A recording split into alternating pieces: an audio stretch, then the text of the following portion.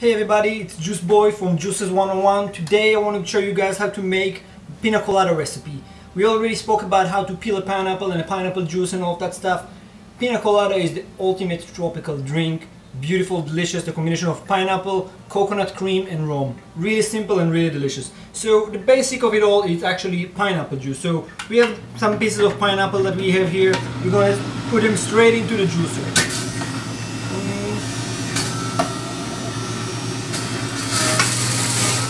Beautiful pineapple juice come out of the other side. You? Now you really don't need a lot. You, you know, you need only around three ounces. I'm gonna get a little bit more because I have a few people here that want to try that delicious recipe. So I'm gonna actually juice all of this pineapple here.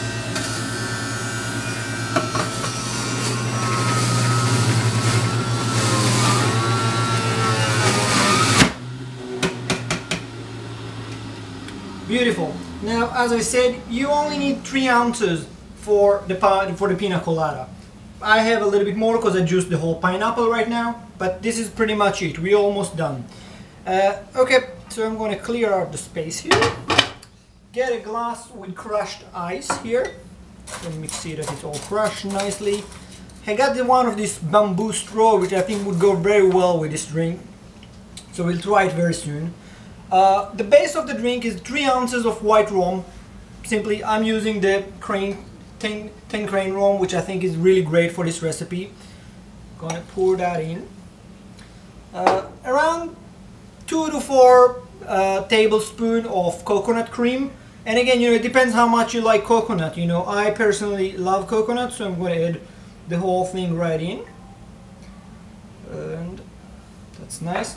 And you know, coconut cream come in that, this type of cans. I'm using Coco Lopez. There are many different types of, of coconut cream. Be just aware that coconut cream is not coconut milk. Those are two different products. So just be aware of that. And to the whole mix here, I'm going to add three ounces of fresh pineapple juice. Ta-da. Looks beautiful so far. Smells delicious.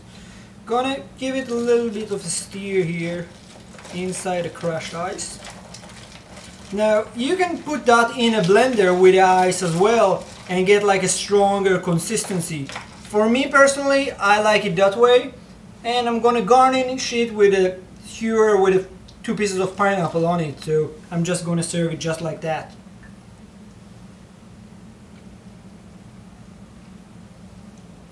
Delicious, tropical and refreshing.